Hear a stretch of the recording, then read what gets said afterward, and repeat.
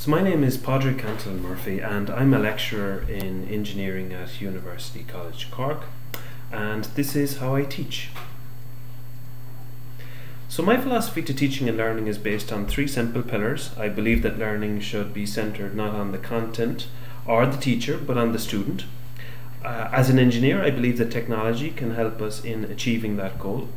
And finally, I believe that we learn better when we listen to and when we work with people from different disciplines.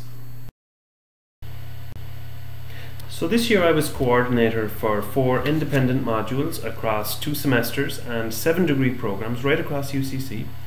Electrical and Electronic Systems is an introductory first year module which introduces students across all four undergraduate engineering programs to the fundamentals of electronics, and this year's class comprised 58 students and was co-taught with my colleague Dr. Alan Morrison, who designed and taught the laboratory sessions which are critical to the module's delivery.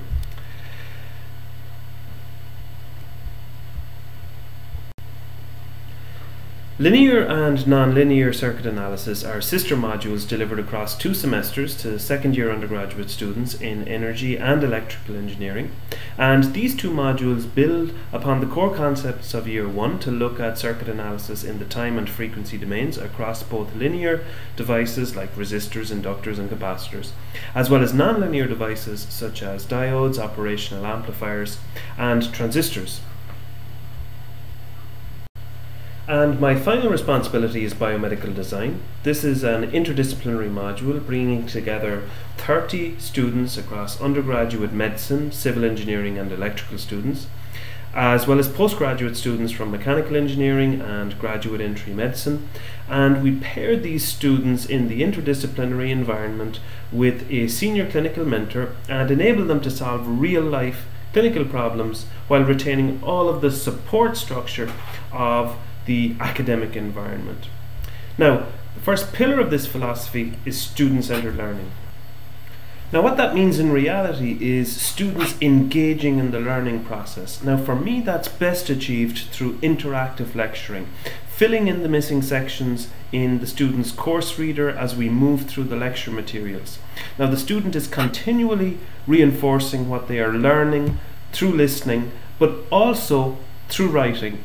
And what I do in lecture is I like to ask questions. So I like the student to help me to fill in the missing parts of the lecture notes. And without embarrassing anybody, we all learn together. Now, in particular, the advantage of this approach is that it allows me to see where students are having difficulty with any concept or learning outcome, and we can address this in real time within the lecture The context. gratifying thing is that students are happy with how these lectures are being delivered, uh, they feel engaged in the learning process, and hopefully, it comes to exam time, they can perform to the best of their ability based on a well organized and delivered module.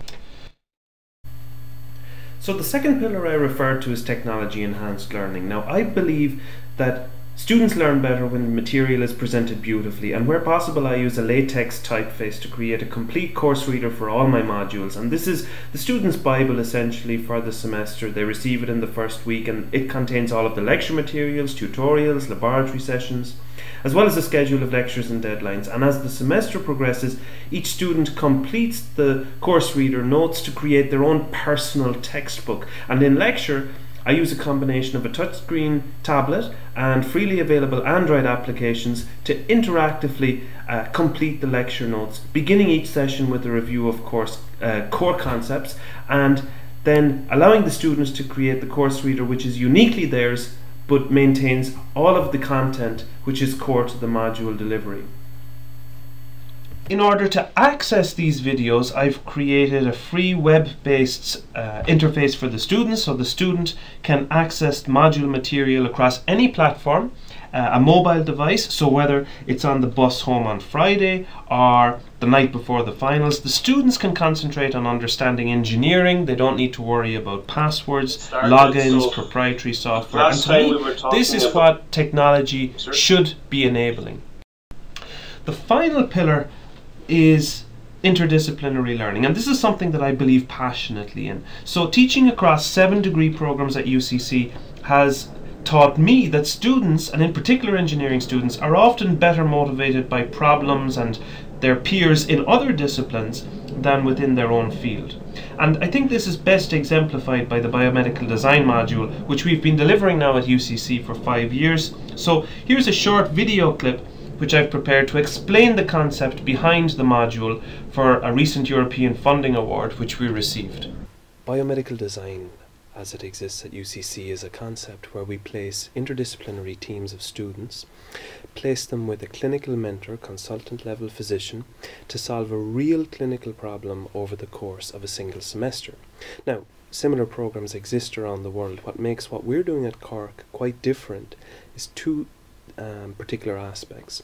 The first is we don't just give the students a problem and tell them, okay, you go solve the problem. We give them a methodology, a toolbox by which they can actually uh, come by the solution. And that's the theory of inventive problem solving, or TRIZ, which my colleague John McSweeney does a fabulous job in imparting.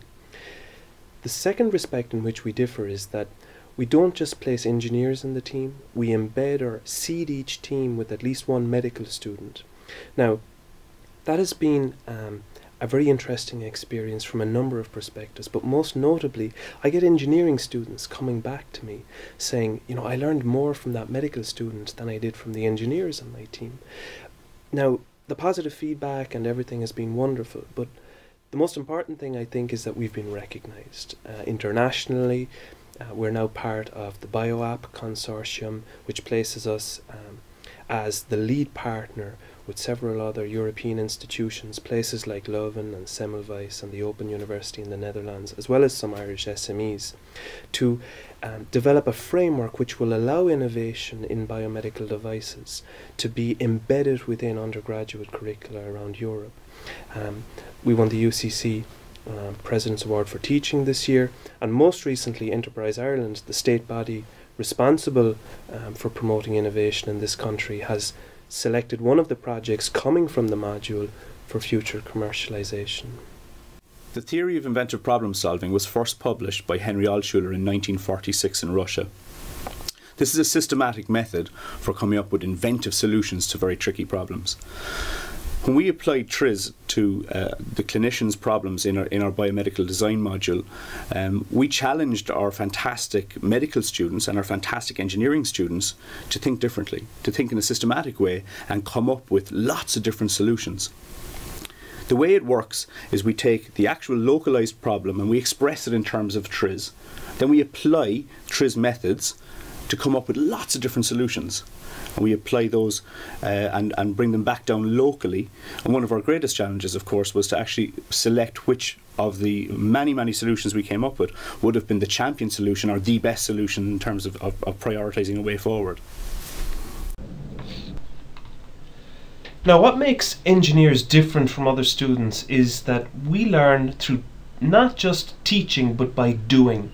And building on the three pillars that I've mentioned, this is the basis for team-based design methods and this is something that is fundamental to how I teach at UCC, not just in biomedical design but across all four modules which I coordinate.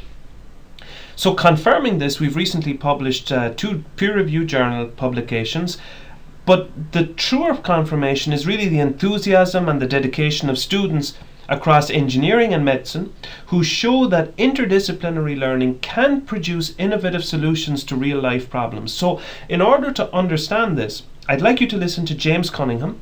James is a fourth year electrical engineering student and he is presenting his team's design, which won the John Francis Burke Award for Biomedical Innovation at UCC as part of my module in 2014. Good afternoon, ladies and gentlemen. My name is James Cunningham, and I'm here today to present to you our product, Nebulate, an efficient airways medicine delivery system developed by our team in conjunction with Dr. Rodney Meek. Now, let me quickly run through the topics I'm going to cover today in my presentation. Firstly, we will discuss the motivations behind our design and the gap that exists in the market currently. Secondly, I will introduce the device and run through the key features of our design. Following on from this, I will draw a comparison between existing systems and Nebulate, outlining the improvements that we have made. Next, we will talk about the marketability of our design, a route to market and a pricing plan for Nebulate. And finally, I'll provide a proof of concept for our device using a flow diagram. Okay, so let's talk about our design motivations first. I think it's fair to say that anybody who finds themselves in an ICU ward as a patient has reached a point in their health where they are at great risk. Mortality is a real possibility, and in an area where such high levels of care and high tech equipment are in place, it is frightening to think that such an inefficient system could be in use. The inefficient system I'm des- describing is the current standard for delivery of medicine using airway ventilation systems. Uh, liquid medicine is passed into a nebulizer, which turns it into a vapor, and then this vaporized medicine is added to the main ventilator tubing, where it passes to the patient's mouth and down into the lungs.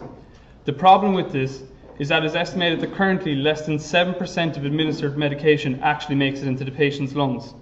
If we look at this from a monetary standpoint, the Irish Health Service each year spends 106 million euro in medication in this area.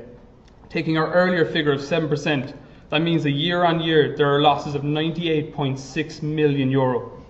On a global standpoint, IMS Health is speculating that by 2016, spending globally on medications in this area will be over $44 billion. Now, it is my great pleasure to present to you our product, Nebulade. Nebulade aims to set the new gold standard in design for this area of medical devices. It incorporates a number of features that blow everything else out of the water. Firstly, we will talk about the Y joint we've incorporated. It attaches the existing ventilator tubing and splits the flow into two, thus giving separate oxygen and medicine tubes. We're using a non-return valve system to stop any loss of medication down the tubing on exhalation. We've added a 45 degree angle joint for nebulizer entry to help promote flow in our system. We've added two points of entry into the mask, with the lower medicine mask having a tilt angle to aim the flow better towards the patient's mouth. And also, we have minimized the dead space hugely. As you can also see, our full system is color coded, allowing ease of assembly and switching in and out of parts. Now, when we compare an existing system to Nebulade, you can see the existing system is extremely long, only utilizes one path, uses a 90 degree angle for nebulizer entry, which does not promote flow, and provides extremely inefficient delivery of medicine to the person's lungs. When we compare this to the 3D model of our design, you can see that we have minimized the dead space. We have given a 45 degree angle of entry for the nebulizer to promote flow. We're using a non-return valve to stop any loss of medication on exhalation. And we're also using a Y joint system so that there's a constant flow of oxygen and there's never any chance of loss of oxygen to the patient. When we look at the marketability of our product, it is classified as a Class 1 device by the FDA in America and a Class 2A device in Europe.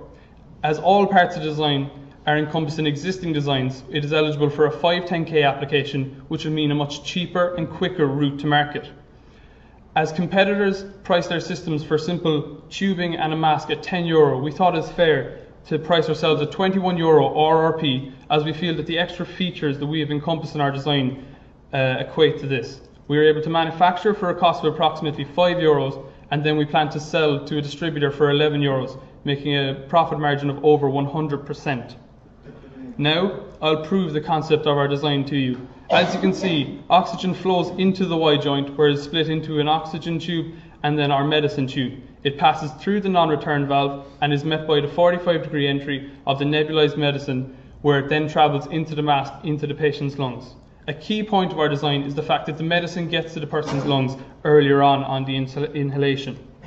Now, when we look at the exhalation process, you can see that our non-return valve is stopping the loss of any medicine down the tubing, while the oxygen tube allows the easy flow of, med- of oxygen out the ventilator exit.